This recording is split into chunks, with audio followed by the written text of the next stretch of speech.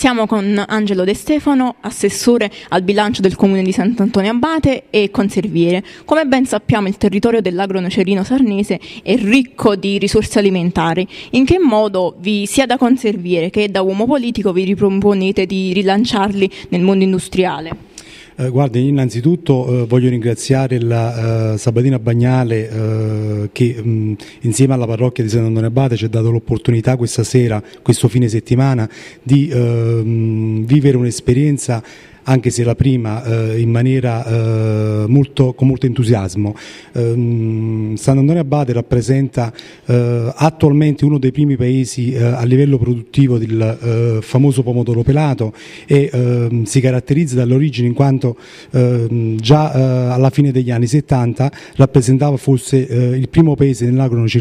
sarnese a livello ehm, di potenzialità produttive tra, ripeto, tra i primi paesi. Quindi voglio ricordare che ehm, la nascita del pomodoro pelato in, in, Campania è nata proprio nell'agro nocerino a partire dai paesi di Nocera, Cava, eh, Castel San Giorgio e i paesi limitrofi. Poi alla fine degli anni 70, inizio degli anni 80 il polo produttivo si è spostato nell'area abbatese principalmente eh, dove negli anni 83-84 eh, vi erano ben 27 industrie conserviere e si eh, produceva a livello eh, locale in questo eh, medio piccolo paese quasi il 20% del prodotto nazionale. Quindi ehm, ripeto, eh, ringrazio ancora una volta eh, gli organizzatori di questa eh, bellissima manifestazione che danno la possibilità sia a noi amministratori e sia a noi conservieri di cercare di riattivare, di eh, promuovere sia le nostre capacità produttive sia le nostre competenze in materia di eh, prodotto agricolo.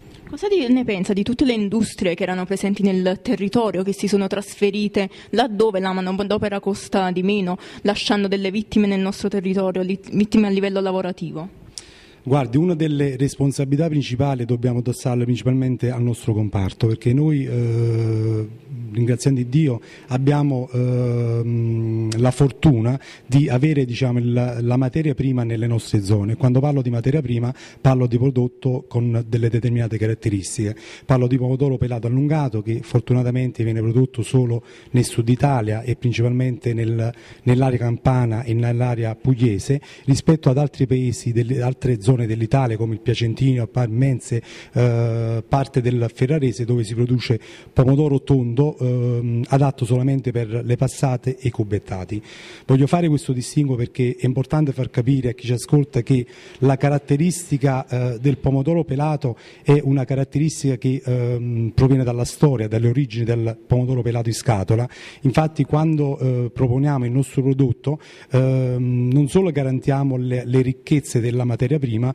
ma soprattutto garantiamo l'origine e la tracciabilità del prodotto, in quanto, ripeto, il pomodoro pelato viene prodotto solamente in Campania e, eh, ahimè, purtroppo, ultimamente anche, anche, in Puglia. Il problema, ripeto, eh, la dislocazione non è tanto del, del discorso dei eh, costi bassi della materia prima, ma un fatto di allocazione della materia prima, in quanto, ripeto, il grosso viene fatto in Puglia, quindi per un fatto logistico e di trasporto diverse aziende si sono dislocate. Però, ripeto, dobbiamo lavorare tantissimo affinché affinché eh, riportiamo ehm, all'attualità quelle, quelle eh, ricchezze della materia prima, ma soprattutto le nostre competenze, perché eh, oggi ehm, come competenze non solo a livello imprenditoriale, industriale, ma come competenze proprio di manodopera, fosse eh, l'agronocerino sarnese, anzi sicuramente l'agronocerino sarnese e principalmente Sant'Antonio Abate è prima eh, rispetto ad altri paesi, perché abbiamo un'esperienza decennale che eh, ci permette di produrre produrre il prodotto con determinate caratteristiche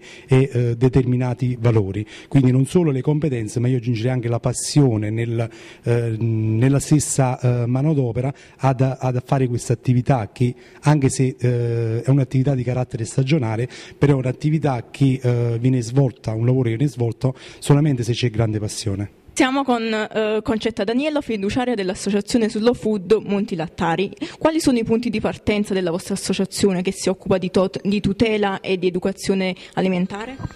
Allora, i punti di partenza sono appunto la tutela del eh, mangiare bene. Eh, slow food si prodiga per dare dei eh, modi giusti e consapevoli di mangiare, però sempre piacevoli, che siano nel rispetto di quello che è il nostro motto buono, pulito e giusto, cioè buono deve essere saporito, pulito che deve rispettare l'ambiente e giusto perché deve dare la giusta remunerazione a tutti quelli che eh, lavorano. In modo particolare noi ci occupiamo eh, delle persone più deboli, nel caso diciamo, dell'agricoltura è il contadino e quindi cerchiamo appunto di dare eh, diciamo, spazio a questo.